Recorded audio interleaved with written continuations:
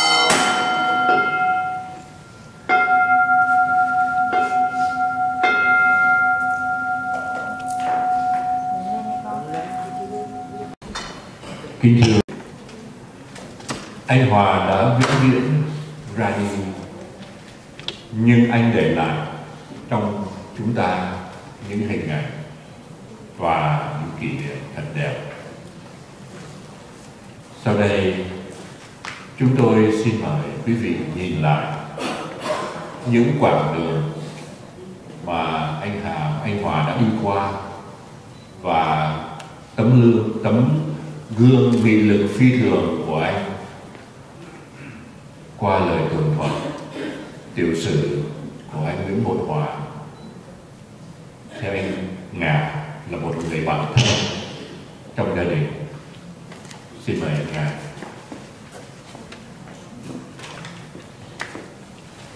Nam mô Di Đà Phật. Tiểu sử của ông Nguyễn Bội Hòa, Pháp danh Quảng Thượng. Ông Nguyễn Bội Hòa sinh ngày 08 tháng 6 năm 1958 tại Đồng Hới, Quảng Trị, Việt Nam trong một gia đình nho phong lễ giáo với bốn anh em trai và một em gái con của bố Nguyễn Bội Thiên và mà Hoàng Thị Vân sau đó gia đình về lập nghiệp tại Sài Gòn và ông đã tốt nghiệp tại trường San Thomas, Phú Nhuận.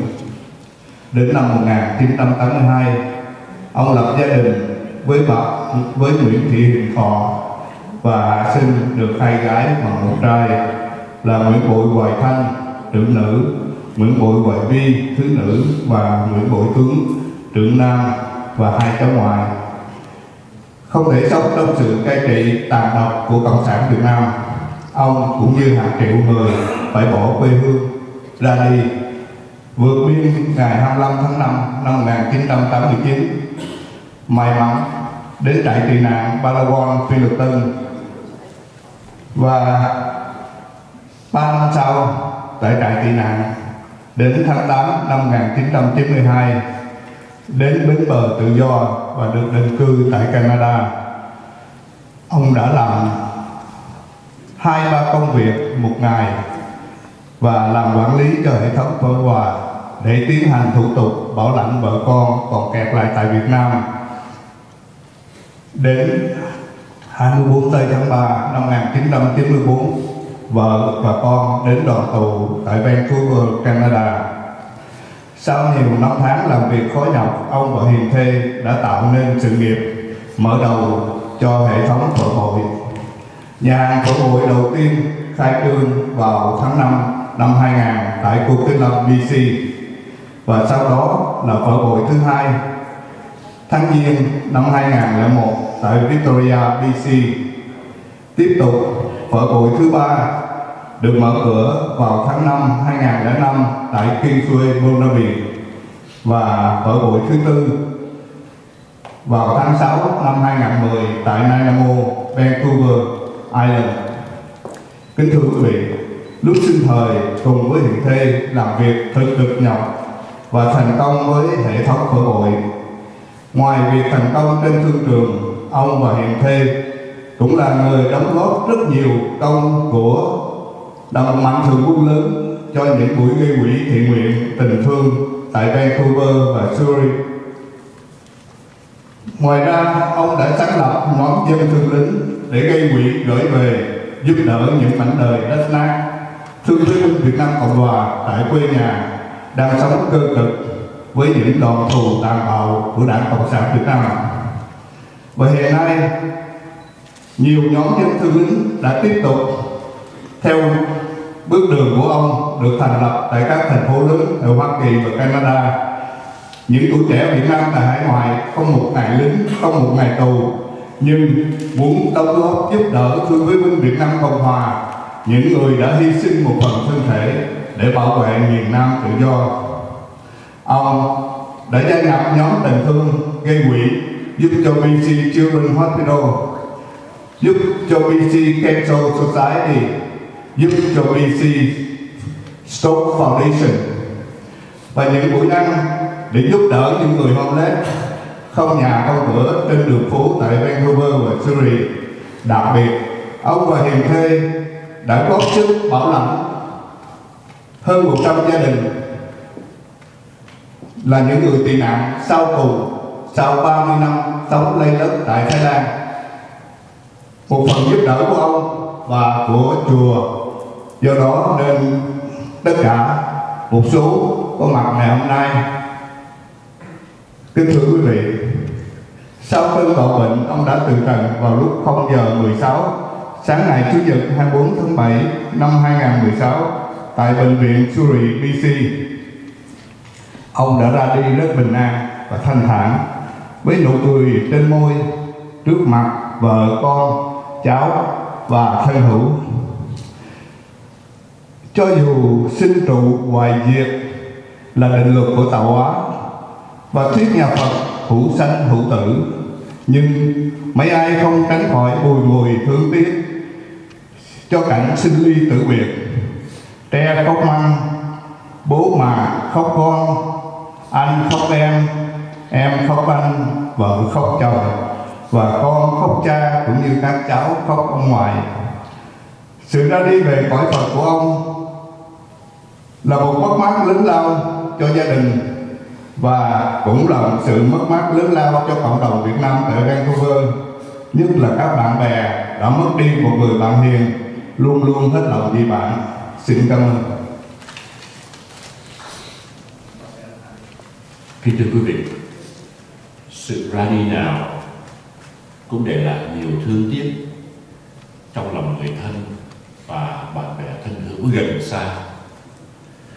Sau đây chúng tôi xin mời đại diện gia đình anh hai, tức là anh Hoàng, lên để chia sẻ với những kỷ niệm của anh Hoàng cho chúng ta.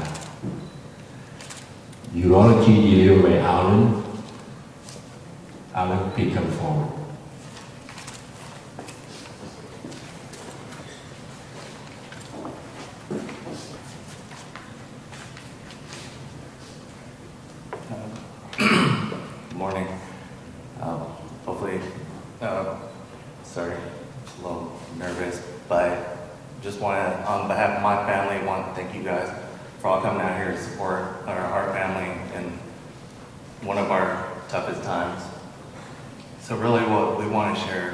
how we feel about um, Dad's brother, our uncle, and, you know, just say a few words.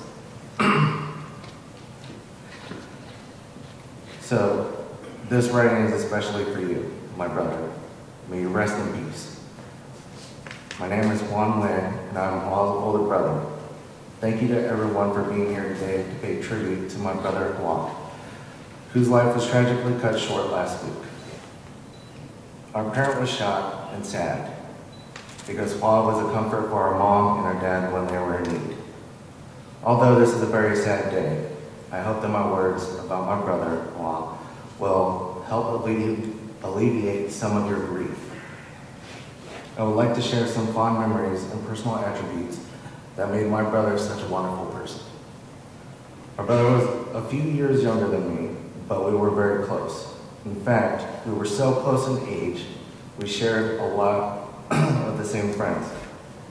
When I look back, I know that he loved me a lot and wanted what was best for me. He was always there for me when I needed him, and I knew that I could talk to him about any problems I had.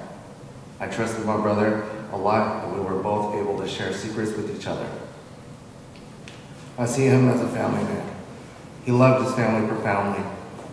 He was a devoted husband, son, father, uncle, brother, and friend. Looking back, he was always a family man. He took all of he took all of his roles in his life to honor, support, and protect his family. He was at his happiest when he was surrounded by his family. Even during those inevitable tough times that life has a way of throwing at you. His devotion to his family was the foundation of his actions, the anchor that defined the shape of his life. My brother was a character. He always had a smile on his face and always seemed to have a new joke to tell. His easygoing, relaxed nature made him a delight to be around. He was one of those people who never complained and could always be counted on. Therefore, he had a lot of close friends and was always the life of the party. One of the things that I respected the most about my brother was that even though he had such a carefree attitude, he also had a serious side. He was very intelligent and ran his own chain restaurant businesses in Vancouver. He was very successful and his staff customers loved the passion he had for his business. I will miss my brother more than words can say. My life feels so empty right now. We shall all be thankful for knowing him and for his time on earth. I hope that everyone here remembers how powerful a person he was, and his memory will continue to live in our hearts and our minds forever.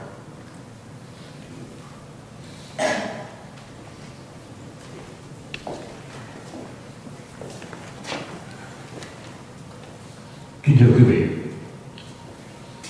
anh Hòa là một người cha như máu, một người chồng tuyệt vời và còn là một người cha kính yêu cũng như một người bạn thật tình.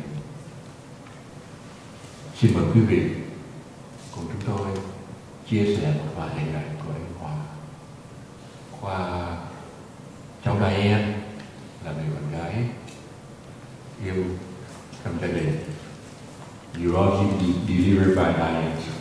Diane, please come forward. Good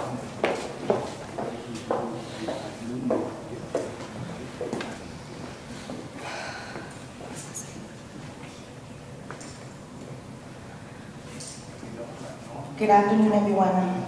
First, I would like to say thank you. We would like to say, on behalf of our family, we would like to say thank you for being here. I know a lot of you have traveled from near, near and far today just to show your support for my father. Thank you so much for coming and showing my family and myself that my dad holds a special place in your heart.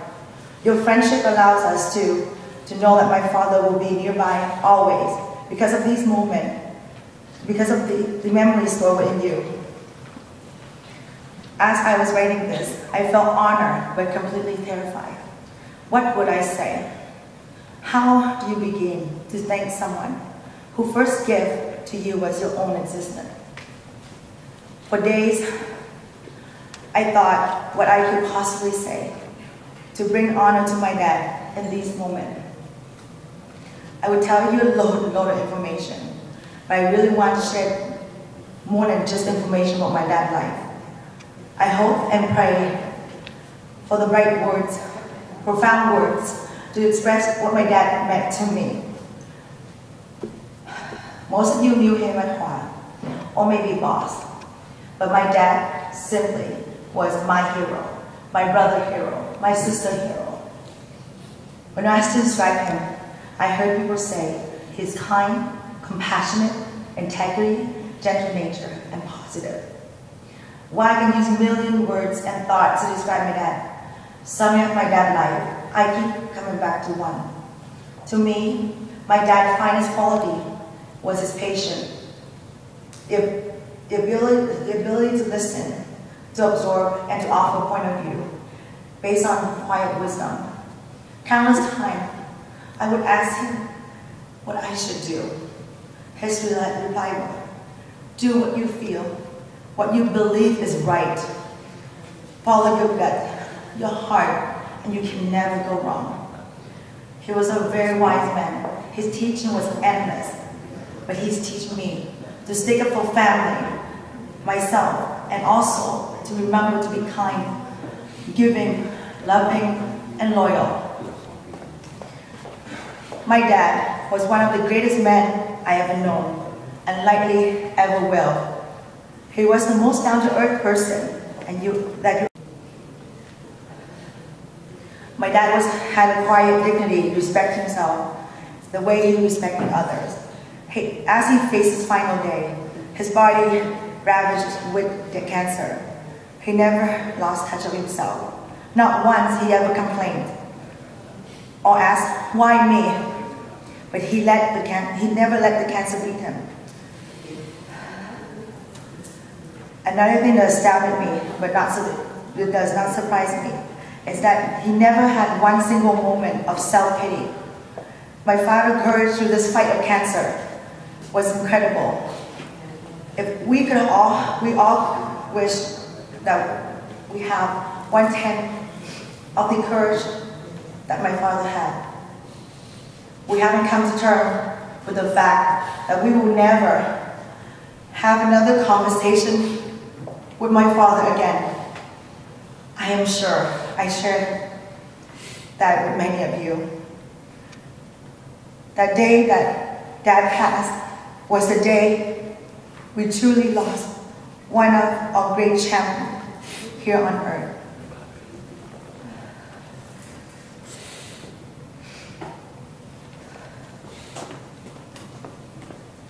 Thank you, Dad, for being the most incredible father I could have and could ever wanted. Thank you for making me want to make the world a better place and for showing me the path to do so. Thank you for making sure that I have known I was loved every single day of our, my life. You say you were lucky to have us in your life, but you were wrong then. We were the lucky one.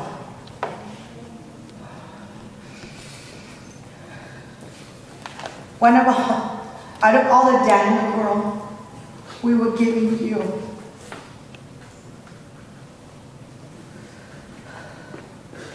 We love you, Dad, and we'll always be, love to be your. I love. I will always love being your daddy girl. Thank you.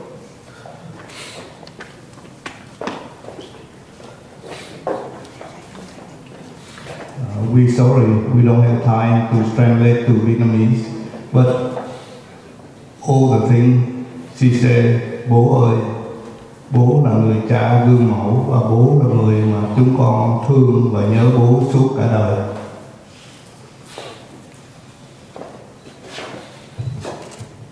Kính thưa quý vị,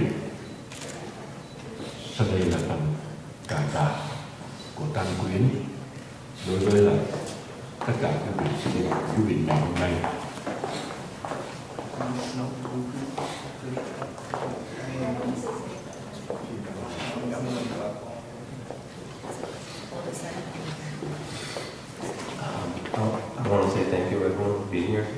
Um,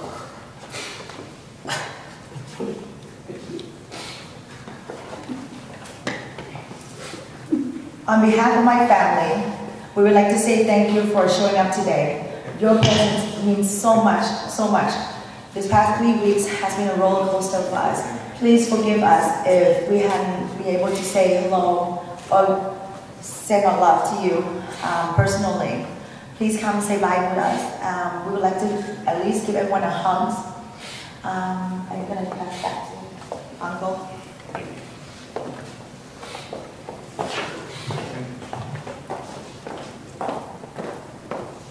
Kính thưa ờ, quý vị, sự ra đi nào cũng để lại thật là nhiều thương tiếc trong lòng chúng ta. Từ những người thân cho đến người bạn, gần xa.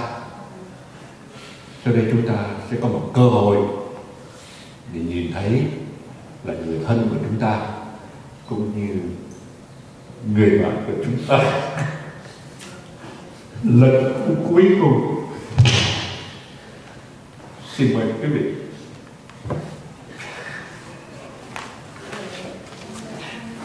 Tham gia hiếu quyến, mời thân bằng quyến thuộc cũng như bạn bè thân hữu chúng ta đứng lên và xếp hàng hai để lên thắp nén hương lòng để tiễn biệt anh hòa à, cũng như là viếng linh cửu anh lần cuối cùng và sau khi à, chúng ta làm lễ và đã di quan thì gia đình cũng xin mời quý vị à, ghé qua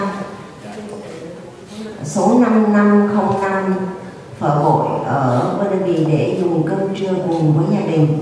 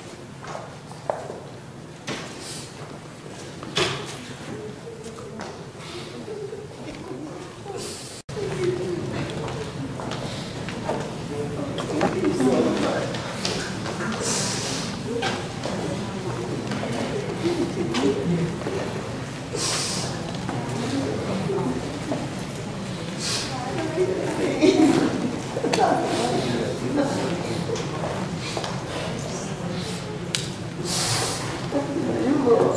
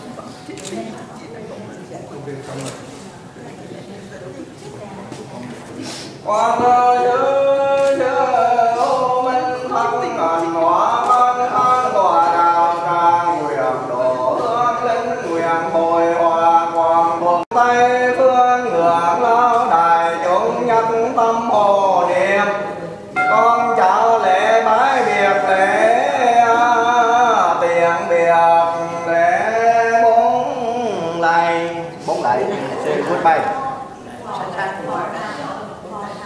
Lễ đại nắp quang.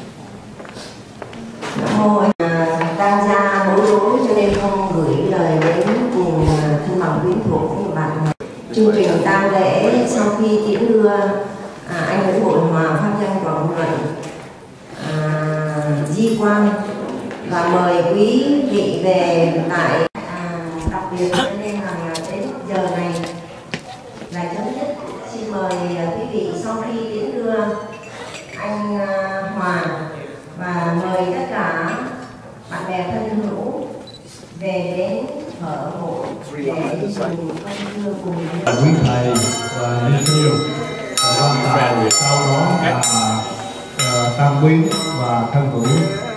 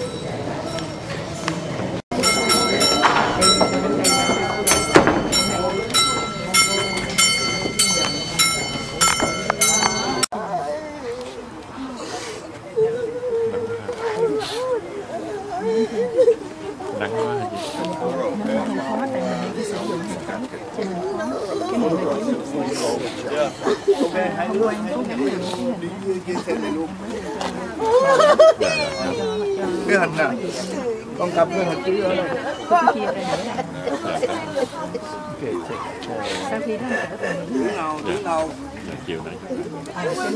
Go!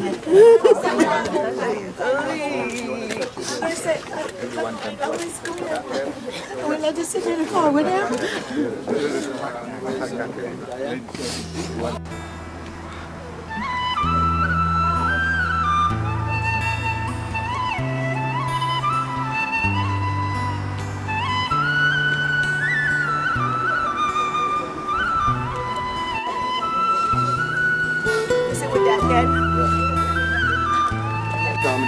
đâu không sao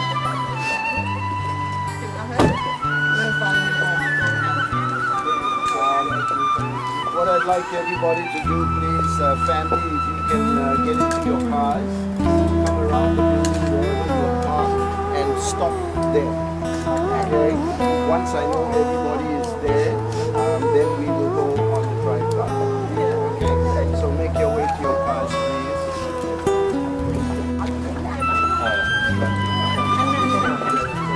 Mom, they, wa- they can't do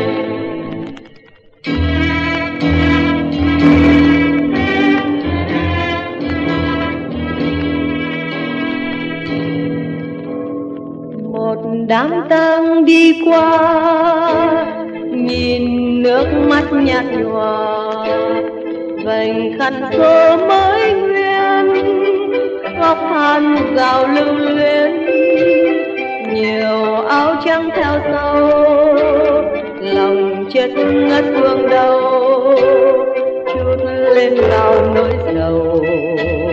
Còn gì đâu với nhau, người chết quen thân tôi, bị pháo kích đến rồi. Tình nhân yêu mến anh, mới nửa đường gãy gánh. Bạn cũ đứng quanh đây đắng nuốt chua cay. Xót tơ ơi não nùng tội bia đá lạnh lùng. Nhìn đám tang thật thương tâm, ai hiểu chăng? Người xưa viết ra sao mau một dòng thương mến nhau. Lời hát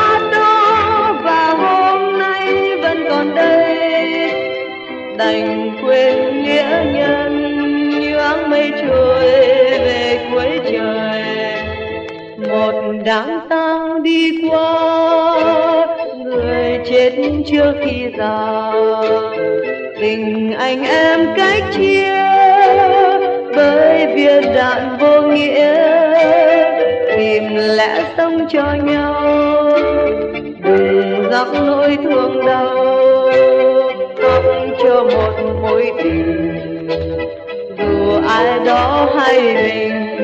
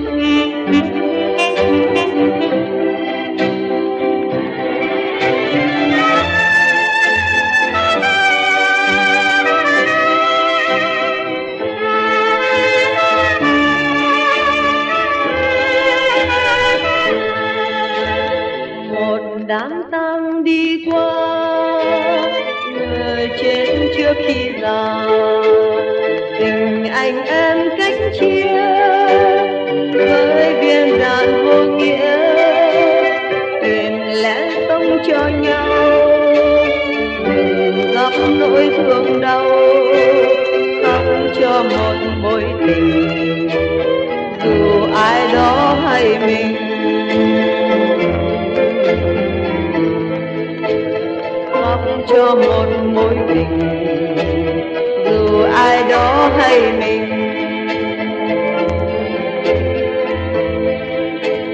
Khóc cho một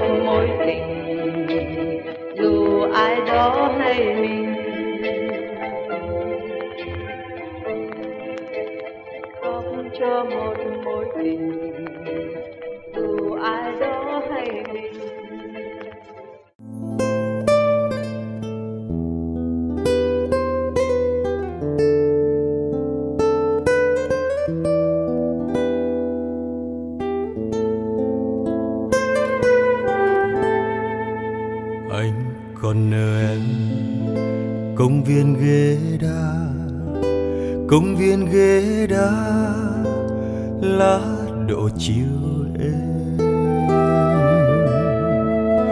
Và còn nợ em dòng xưa bên cũ, dòng xưa bên cũ, con sông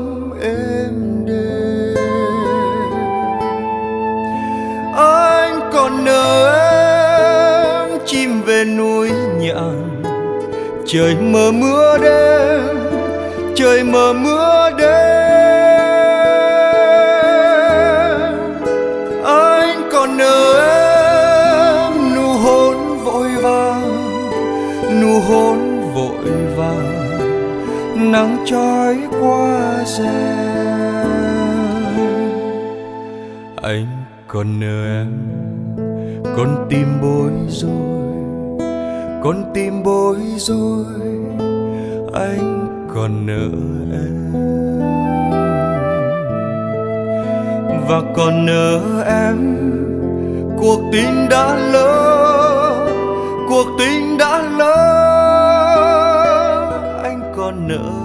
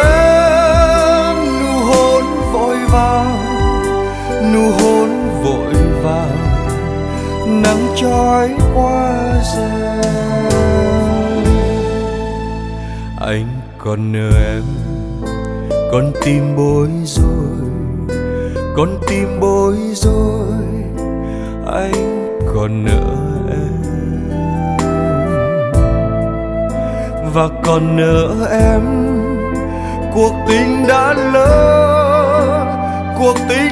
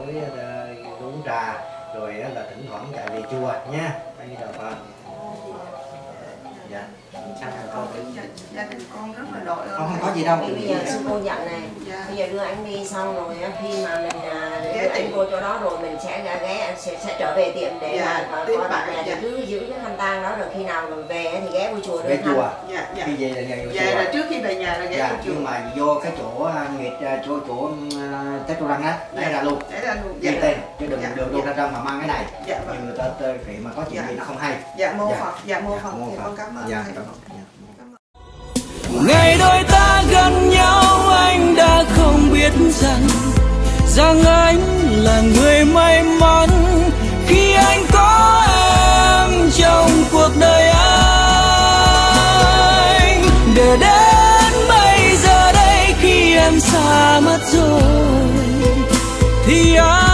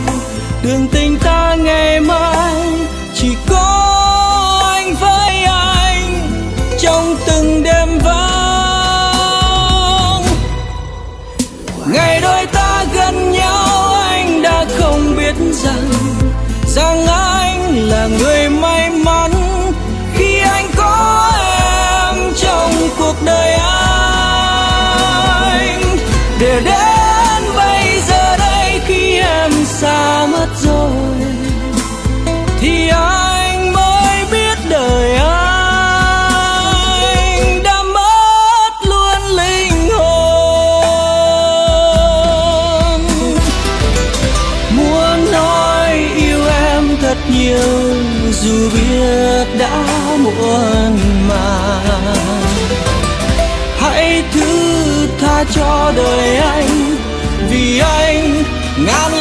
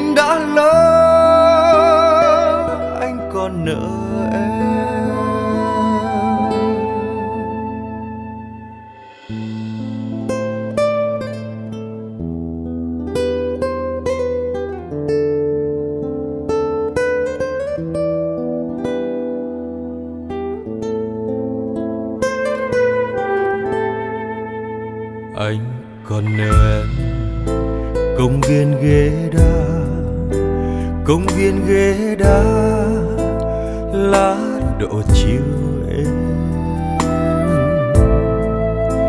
Và còn nợ em dòng xưa bên cũ, dòng xưa bên cũ, con sông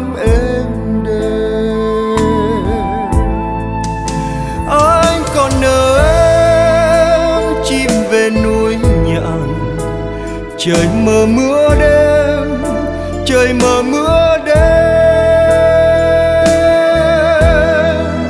Anh còn nợ em, nụ hôn vội vàng, nụ hôn vội vàng, nắng trói qua rèm anh còn nợ em, con tim bối rối tim bối rối, anh còn nợ em. Và còn nợ em, cuộc tình đã lỡ, cuộc tình đã lỡ. Anh còn nợ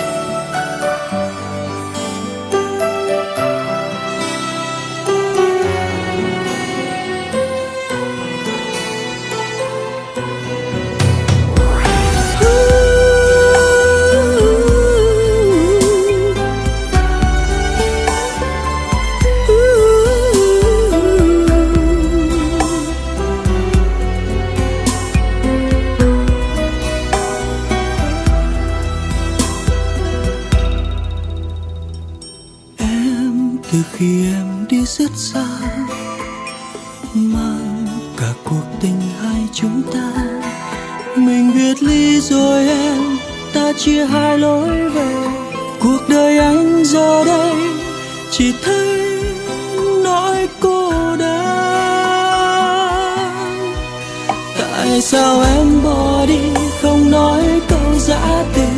Đường tình ta ngày mai, chỉ có anh với anh trong từng đêm vắng. Ngày đôi ta gần nhau, anh đã không biết rằng rằng anh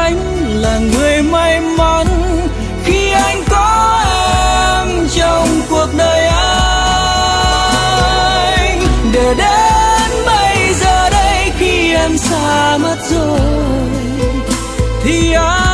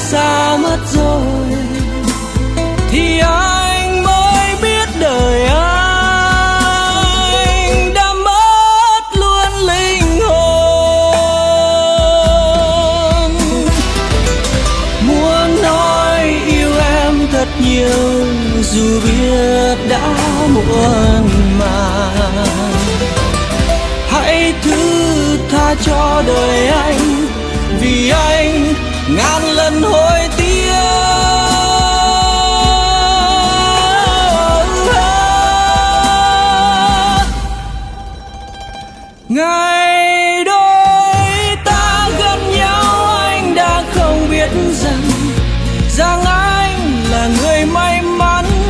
Khi anh có em trong cuộc đời anh